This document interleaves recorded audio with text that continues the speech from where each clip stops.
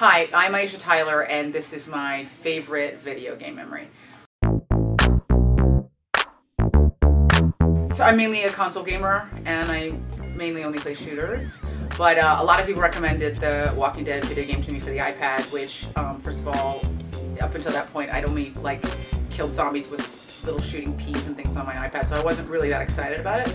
Um, and but everybody loved that game so much, and I'm a huge Walking Dead fan. I've read every Walking Dead book. I watched the show, so I thought I'll try this game. And I remember so many people online going, "Oh my god, get ready to cry!" And I was like, "I don't cry because I'm dead inside and I feel nothing."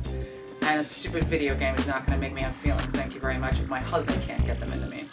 So, um, and I played this game, and I remember I was actually playing, my husband and I were playing it simultaneously next to each other, and he finished his the last chapter before, like maybe like a day before I did, and uh, and then when I finished the game, I was crying so hysterically, and he just looked at me, and goes, "Finish again, huh?"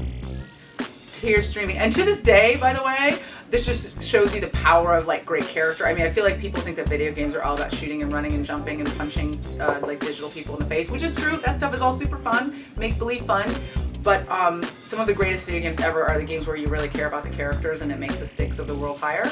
And so for me, uh, I like a lot of games and I love a lot of shooters, but um, that's the first time I ever cried when a character died in a video game. And now I cry all the time. The other day, I broke a Dorito in half before it made it to my mouth and I was in hysterics for three days. So uh, I'm Aisha Tyler and that was my favorite video game moment. If by favorite you mean soul-rendingly depressing.